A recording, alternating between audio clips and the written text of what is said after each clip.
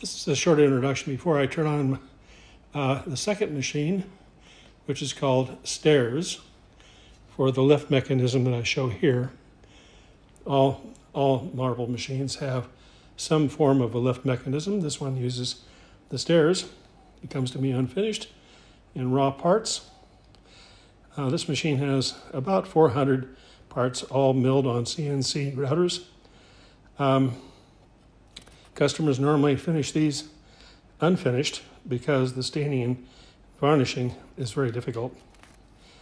Uh, I finished all of these parts using five coats of chemicals with sanding in between to produce the glossy effect that you see and the accent that I choose to use. Um, finishing these machines, anything in pine, is a pain in the butt. Um, this particular machine has four module positions, each of which can accept modules such as these. I've chosen uh, these for this demonstration. This is an accumulator. It accumulates uh, and releases four balls. This is a second accumulator. Excuse me, this is a second accumulator. It accumulates, I think, five balls and releases them and distributes them to the feeding wheel for the stairs. So now let me turn on this machine. Uh, this machine has a modified regulated AC circuit.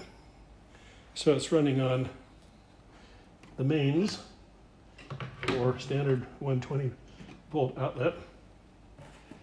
Uh, here we go.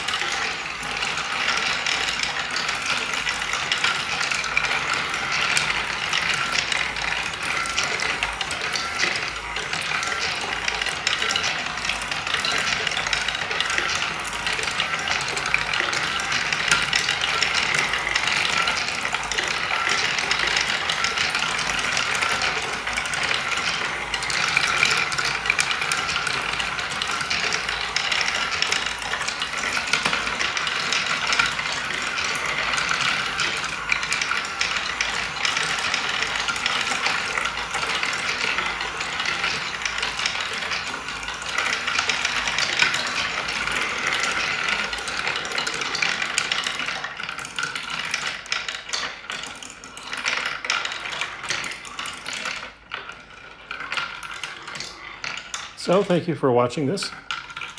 Goodbye.